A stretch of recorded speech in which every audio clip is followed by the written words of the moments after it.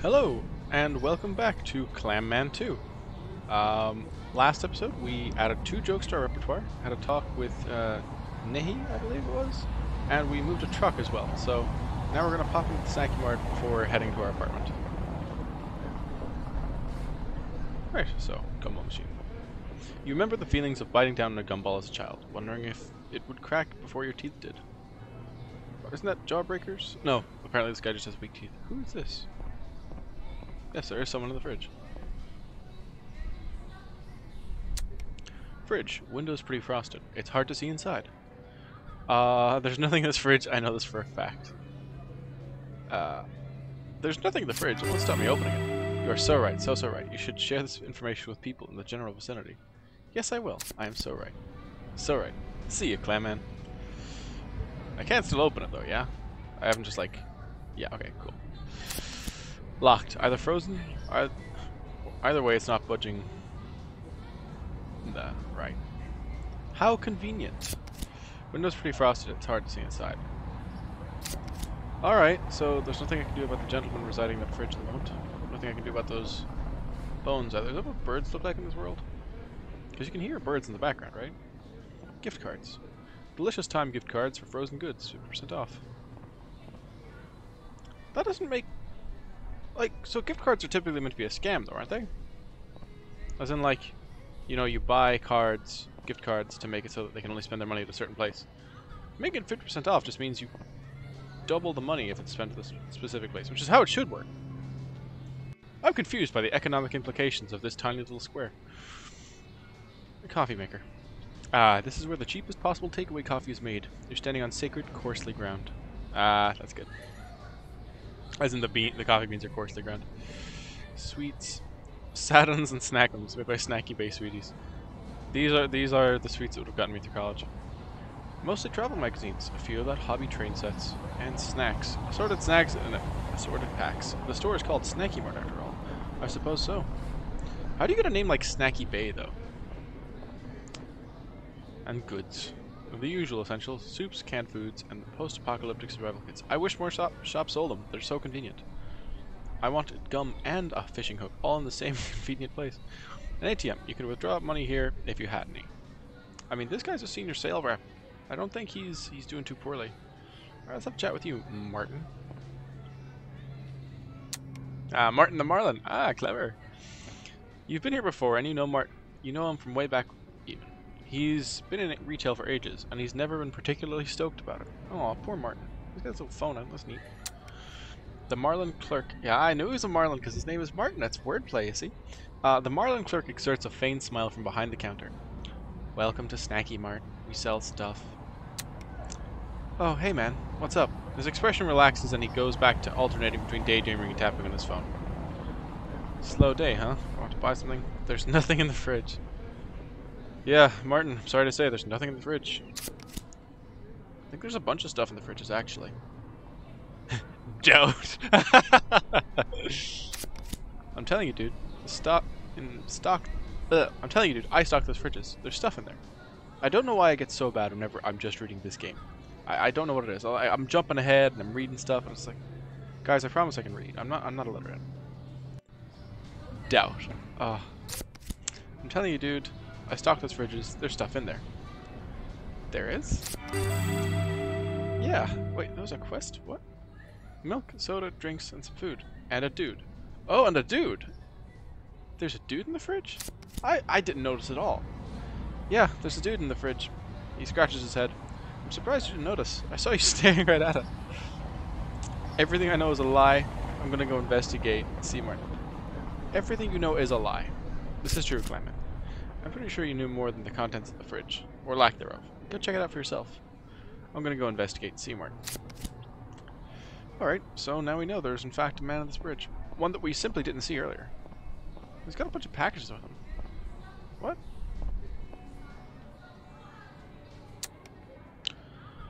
Window's pretty frosted. It's hard to see inside. I heard there is something in the fridge. Ah, you heard. Yeah, couldn't fool me. Drop the axe, spill the beans. Ah, alright, the jig's up. You got me. You're such an observant investigator. Drop the act, spill the beans. There is a person in the fridge. Oh, it's kind of like an octopusy dude with a beard. Hey, I can see you. Cold enough for you? Ha, just kidding. I'm a comedian, you see. Yeah, let's bust out some classic, um, oh, Mr. Freeze lines. Luther, you hear something being shuffled around under the pause. Actually, no. It should be about three degrees colder. Gotta get Martin to turn the temperature down again. He turns back to his work, whatever it is. I'm Luther. Can I help you with something? What you doing in there? Be honest, Martin trap you in the fridge. I don't know what to do. I have things on a list that I need to do, and I don't know what to do. What do I do? yes. I couldn't say. You do sound like you need help. Not sure what I could do about it. What can you do, other than sit in the fridge and be like, this freezer is too warm? I'm so confused about your job. I'm a journalist. I do journalism. What is that you're holding? What is that you're holding? What are you doing? I'm so confused. Is that a book? No. What, whatever. I report the news mostly. Well, I say news, but oftentimes it's just filler. No, I don't mind admitting that. Filler makes the world go round. I'm sure you agree. Filler makes the world iller. Filler makes the world chiller. Improv high. If the filler is the killer, it's certainly thriller, but otherwise certainly not. Self-awareness, no. Say nothing. Fuck crimes. Uh, improv high. If the filler is thriller, it's no longer filler. If a filler is killer, it becomes a top biller. Wow, Clamman, give up this comedy thing. You should work, go straight into rap. Improv 71. Outrhyme this fool. Oh, that was Luther! Oh, I'm a, I'm a Muppet. I didn't even do the voice. Rolled a 36 out of necessary 29. Right. Biller, killer, thriller, filler, tiller, griller, miller, pillar. If the filler is killer, then the top biller doesn't have to be such a thriller. The filler is a pillar so the top biller can be chiller. Clam Man, dropping sick rhymes. Luther. Hmm. Alright, fair enough. So, was there something you needed, or can I get back to work here? How's life in the fridge? Journalist, you say. I might have a scoop for you. Oh, is it ice cream? No, probably not. What's what? A, how about exclusive rights to the hottest story this side of Snacky Bay? No, I, I can't. Oh, he's a journalist. This was my job the entire time. Yes, exclusive rights. Weird phrasing, considering you're talking to a man in a fridge. But sure, go ahead. What's the story? I'm opening a comedy club in Snacky Bay. My friends are opening up a comedy club here in Snacky Bay. There's a new club in town, opened by no one in particular. No. I mean, Clamman was a hero. I'm opening a comedy club. Yeah, let's let's do it. Let's do it. Or my friends. I don't know. I don't know. Yeah, you're opening for them, but you're not opening the club. Yeah, my friends are opening. For the first time, Luther's typing stops. Typing? Alright. Um, his gaze becomes more attentive. Huh. That actually does sound like news. He looks down at the time and then back up at you. I have five minutes right now. Quick interview, you and me. Can we do this later? I'm not really prepared. Okay, sure, let's do it. Yeah, why not? Let's jump right in. I've also kind of forgotten the voice I've given Luther at this point. I just know it was deep. Great. I'm not even sure if that picks up on the mic, actually. Great. Luther pulls out a small portable recorder and presses it up against the glass door. First of all, what is your name? Jacques Cousteau. Uh, Clamman. No, what's your real name? No, it's actually Clamman. I know, I hate my parents too. Oh, I'm sorry. I would be too. So, Mr. Man, what do you do? Oh god, what do I do? Self-awareness neurotic. What do I do? I'm a senior sales representative at Snacky Bay Prime Mayonnaise. I'm a comedian. You know what, Clamman? You are a comedian. Embrace this new side of your life. I'm a comedian. Really? Alright, if you say so. I suppose that makes sense considering what you're plugging. So, a comedy club. Why? Snacky Bay doesn't have a comedy club. Supply and demand. Because there's always room for culture. Laughter's the best medicine. Just for fun. Get it? Ha ha! I'm a comedian. Good one, Clam Man. Knock it out of the park. Start strong. Start strong. best foot forward. Um, there's always room for culture. Laughter is the best medicine. He types away. Laughter, cultures, cliches. Got it. And are you the owner of the club? Oh no, it's run by three of my friends. No, it's run by a group of comedians. Um, saying it's run by a group of comedians probably will score better. Run by the community. Not worried this might end up being an exclusive ordeal? Comedy's for everyone. I'm not worried. If you don't think jokes are funny, you can leave. As easy as that. I think the shows and performers will vary. There'll be something for everyone. This is true. There will be something for everyone. Hmm. Compromise Club. Might be a good title. Oh, journalists. Well, this journalist in particular, I suppose. Alright. That's about it. Anything you want to add? Uh... It's called Poseidon, by the way. I should have said that earlier. Yes, please, for the love of God, mention the name. We need customers to come to our opening night. Oh, jeez. Uh... Opening night. Uh... Oh, a good opening is important, but also people knowing that it exists and has a name is, is important too. Don't worry, most of our readers won't really care, and those who do will look it up online. You've got a website, right? I have no idea. Not enthusiastically. Shake your head aggressively. I don't know. I do not know. Maybe I should have prepared for this interview better. That bodes well, doesn't it? Luther hits the keys one final time looks back up at you. Alright, I'll run this past my editor, and it'll be up either tonight or tomorrow. You wrote the whole thing already? It's not a two-page spread, man. It's a notice about an opening. I could literally write this with my eyes closed. Fine. That's all you need? Okay, thanks. Fine. Yeah, that's fine. He nods. Yep. Now if you don't mind, I've got some work I need to get back to. Luther reclines into the fridge, his face dimly lit by the blue screen of his laptop. Ah, it's a laptop. Right. Is that a typewriter then? Maybe. No, obviously not. If he's got a laptop, why do you need a typewriter? What a dick. I like him. But why is he in a fridge? Does it matter? Come on, let's go. Alright. Fair enough. What about Martin? What does he have to say? Oh, hey man, what's up? His expression relaxes and he goes back to alternating between daydreaming and tapping on his phone. You're cool with Luther hanging out in the fridge. He's not bothering anyone, and if he's in there, I have an excuse not to stack and stock that particular fridge. It's a win-win for everyone. Yeah, fair enough. I want to buy something. He gives you a blank stare. Usually people grab things and bring them here to pay. But you do you, man. What do you need? What do you have? This is a stupid question. I just realized I don't need anything. Sorry, my brain short circuit. Yeah. Uh-huh. I'll let you get back to work. See ya. Later, dude. Oh, God, I am really hoping Luther's voice picked up on the mic there, because sometimes when I when I do voices that low, it gets quieter, and it doesn't it doesn't translate well. So that's a problem for future Will. Either way, I, I took the text fairly slowly, so you should be able to interpolate what was going on. I, I, I'm not a professional at this. Alright, next stop is the apartment, which we know is here. Enter apartment. Oh, hello. Linda. Oh, you're a shrimp, are you? Linda is bouncing with joy in such short intervals she might be as well be vibrating. Close to her chest, she clutches a notepad tight enough to create, crease the cardboard cover. Over here! Hey! Hey, hey, hey! Realizing how loud she's being, she lowers her voice and leans in. Listen! I've got it.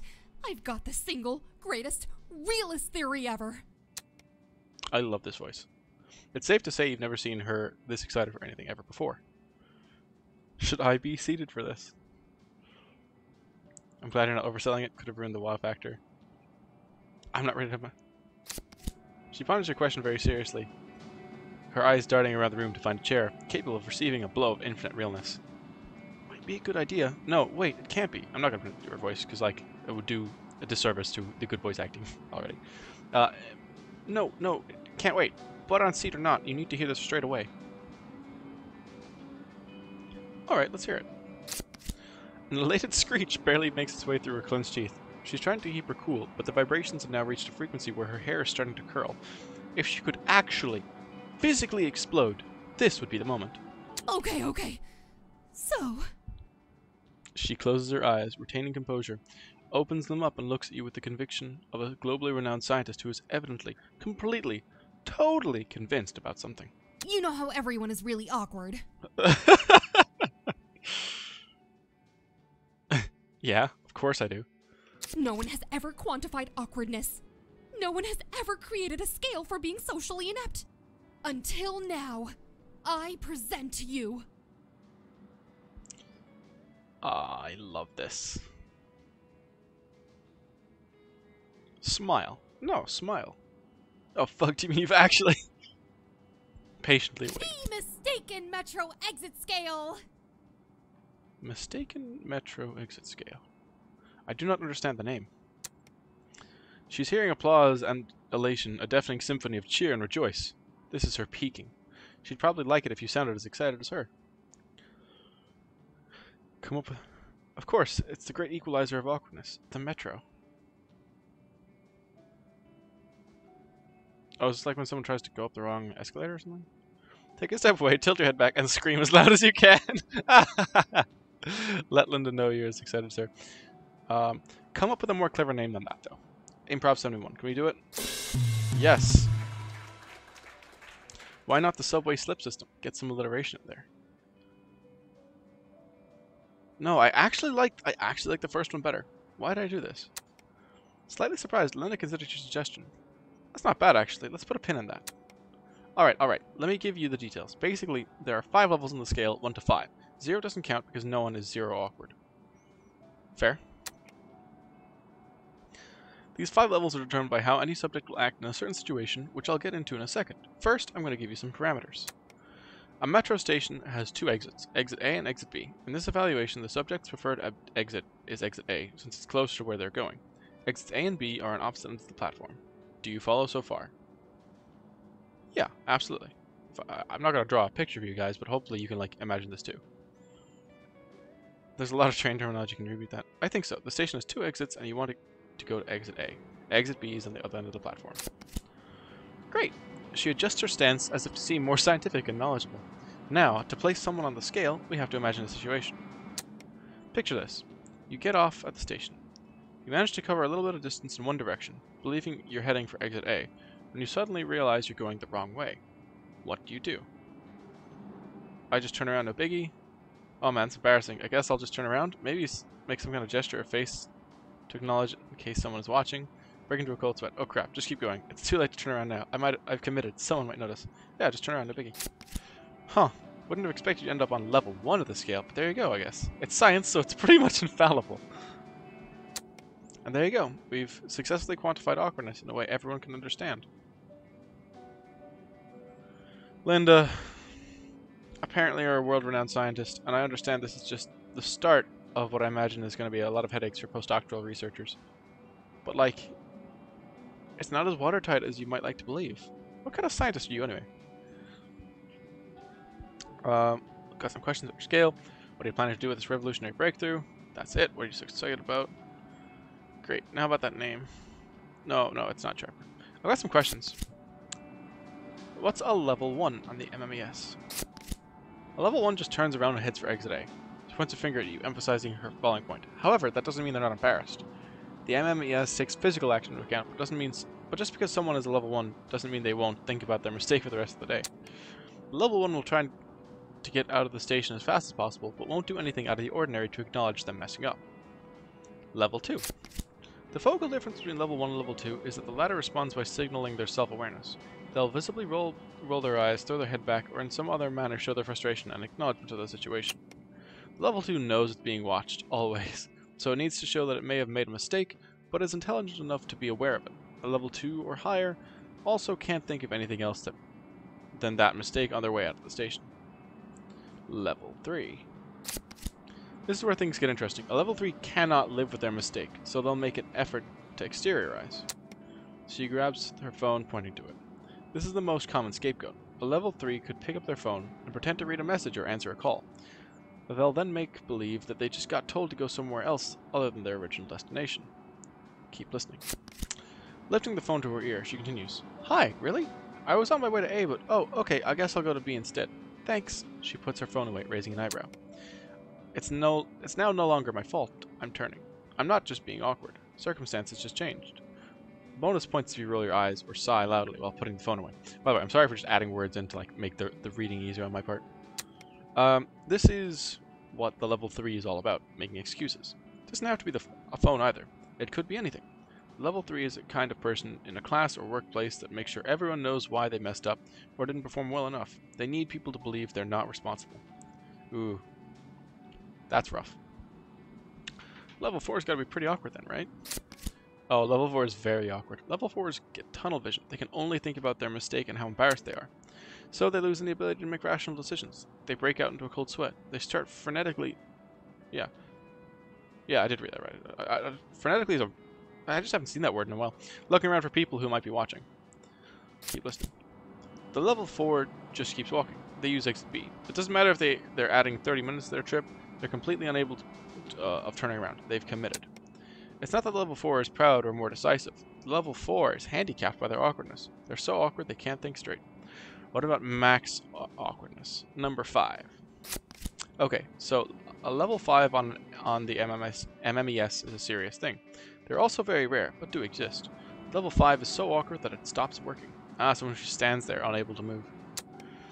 What happens scientifically when a level 5 triggers an awkward event is somewhat unclear, but my study suggests that every single synapse in their brain fires off at once, effectively short-circuiting them. Oh boy. The level 4 acts irrationally, but does so based on its mistake. It continues on its unfortunate trajectory. The level 5 becomes completely illogical. We're talking about running in circles, screaming, crying, breaking down, melting into a puddle on the platform, eventually the shutdown of all motor functions. Is there anything higher than a 5? If there is, I've never seen it. Technically, it's possible that someone is so awkward that they start to affect and even bend gravity. They'll literally sink into the ground. She considers her previous statement, frowning. Level 5 is a danger to itself, but anything above would, I suppose, be a threat to everything in the world around it, and everyone around it. Determine whether or not this applies to you. Are you saying that someone could be so socially uncomfortable and awkward that it could create a tear in time and space? This person's evidently not a physicist.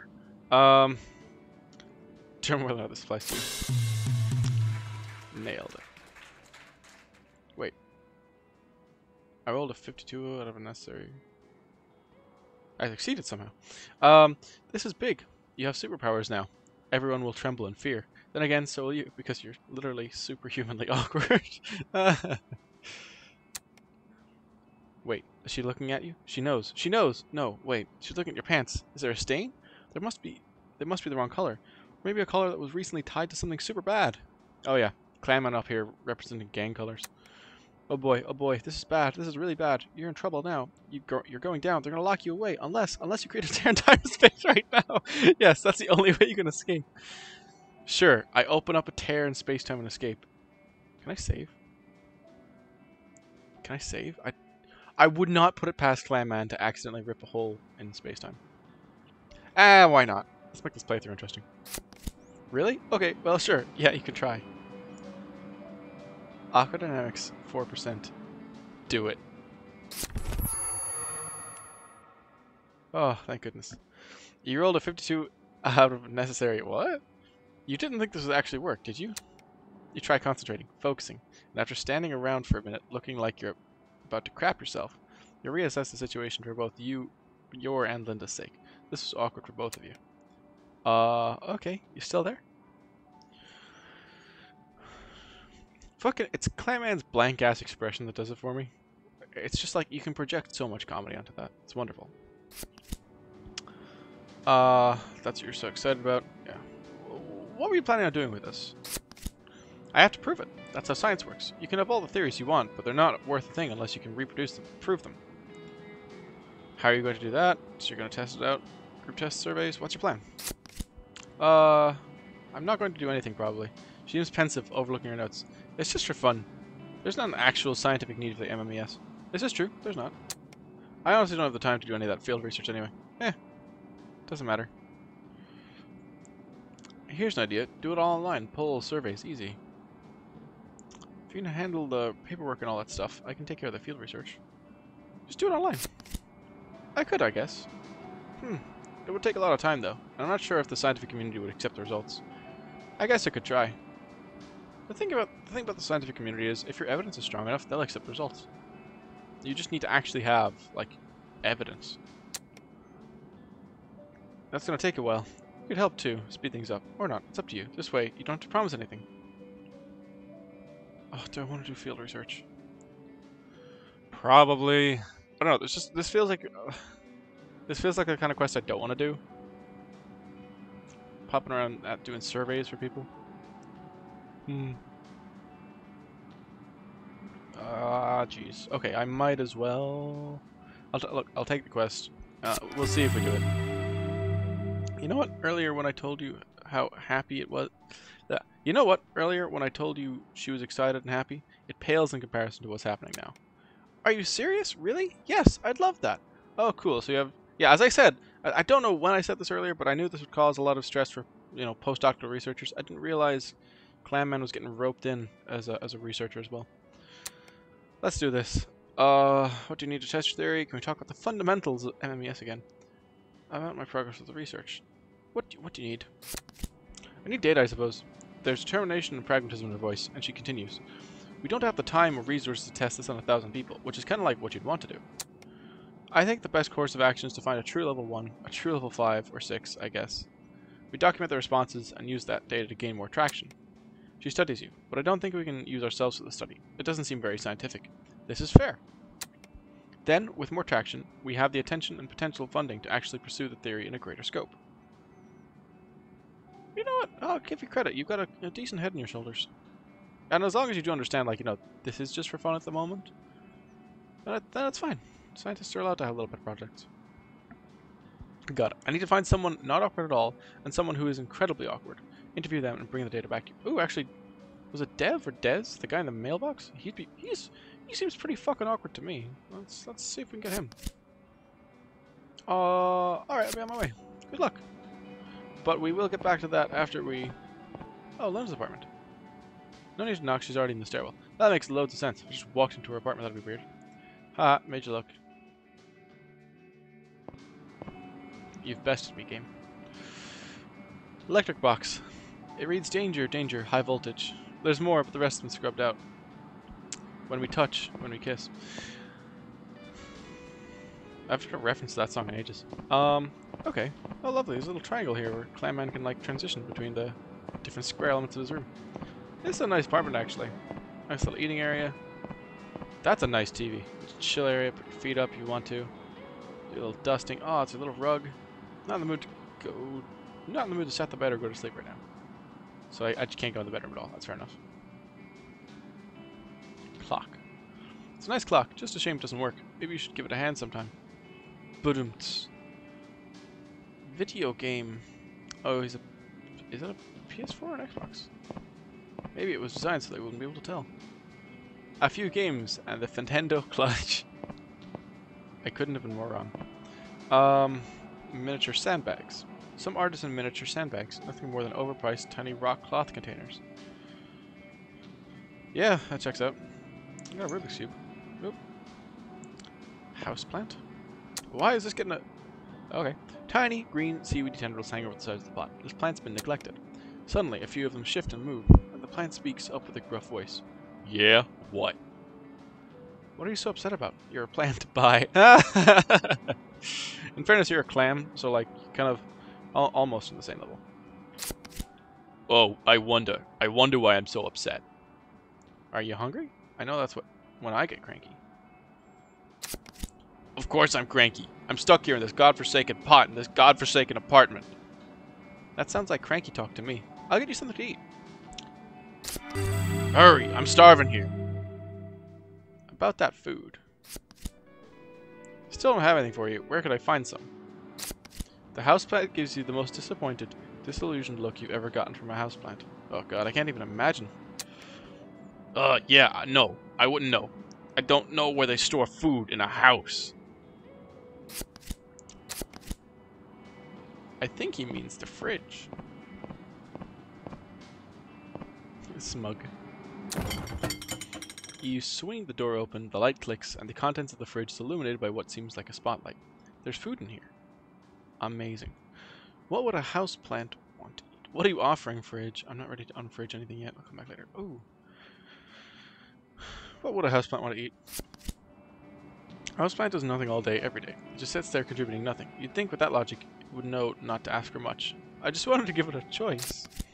Well, maybe start by having a look at what's in here. Then you can ponder what is and what isn't suited to the palate of a plant. Shouldn't it just be eating light, dude? Ah, uh, bread, milk, cold cuts. I don't know. Like, out of all of this,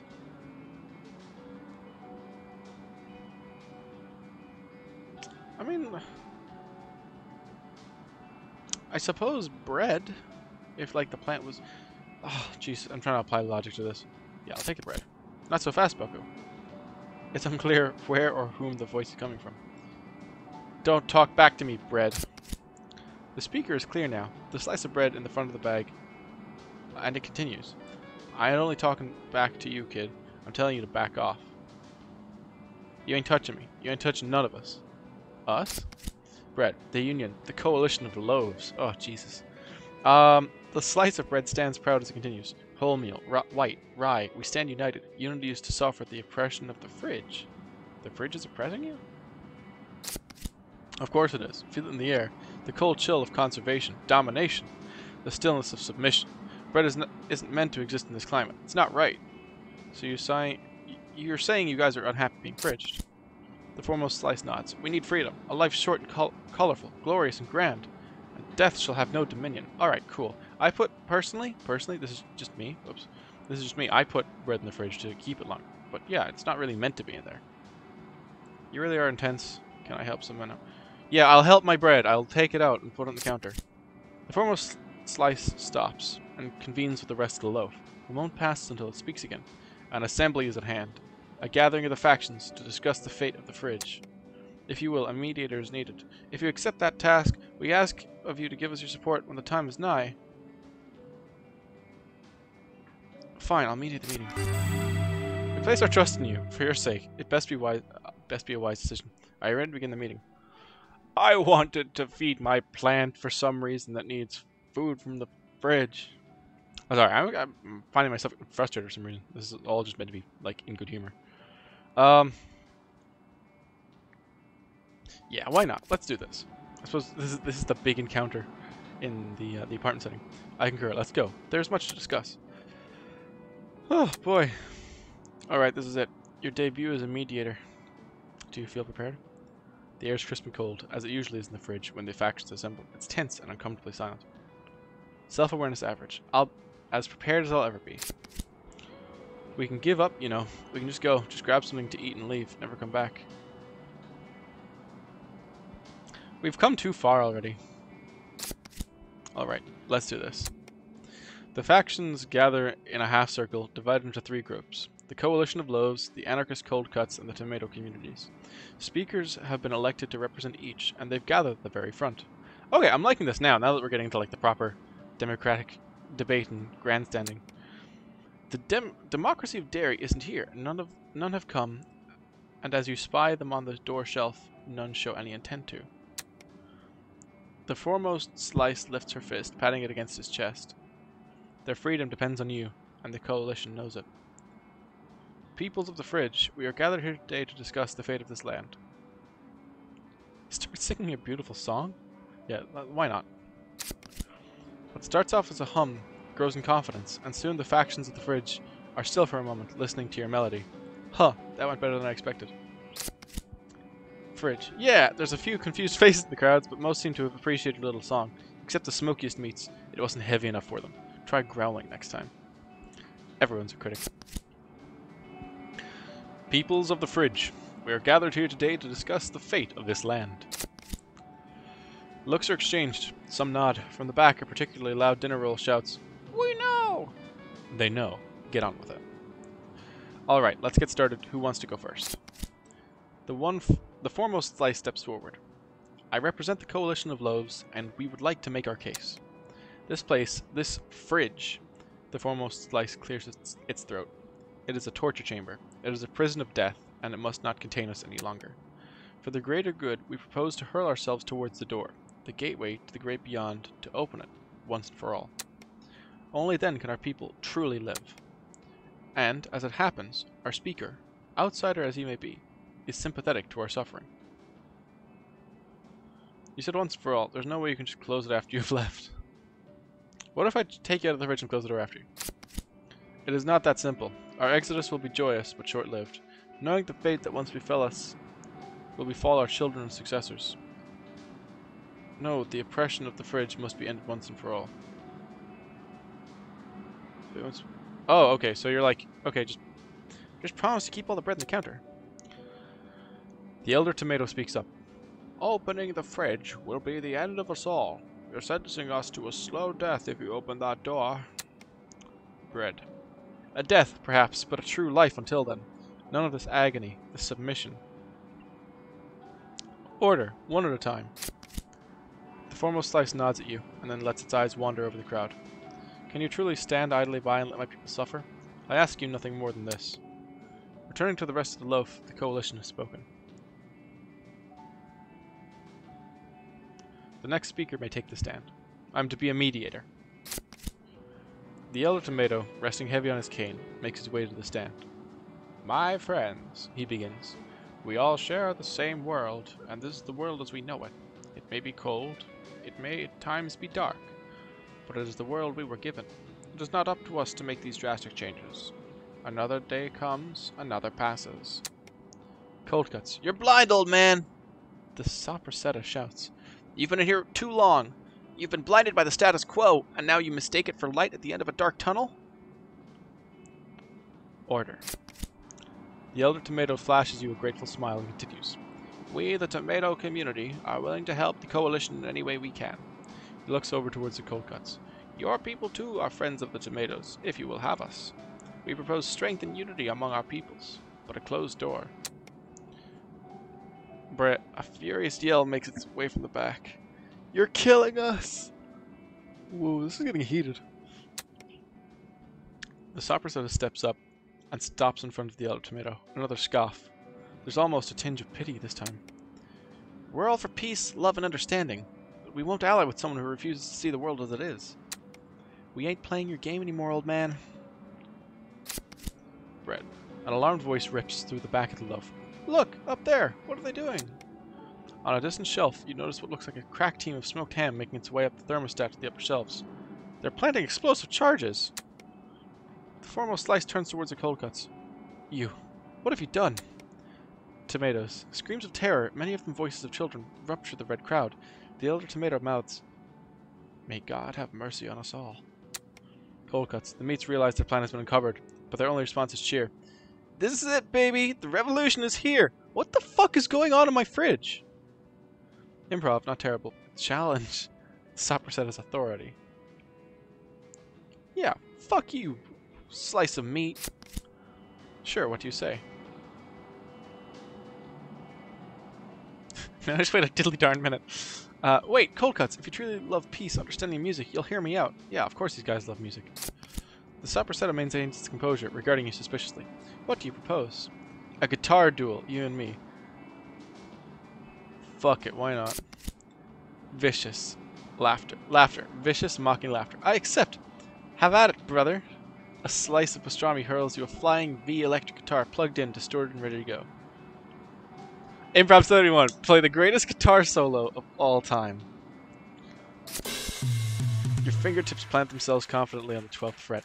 A quick pick and a bend as you launch into your solo. Play a crescendo of modal scales and fire off some three finger tapping, or keep it classy. Nah, dude, blow them out of the park. You are shredding. As you finish up your solo, the cold cuts, along with the rest of the fridge, are in awe. The Soprasetta hasn't even played yet. Uncertainty spreads through the high protein ranks of the cold cuts. The Soprasetta, for the very first time, seems to lose its composures. Brothers, don't let yourself be swayed. This is the man. This is who we're up against. Give it up. It's over.